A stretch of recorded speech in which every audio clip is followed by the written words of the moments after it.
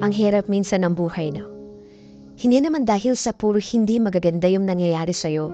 Sometimes, life seems to be so hard because we are growing up too fast that we forget to pause for a while and to breathe.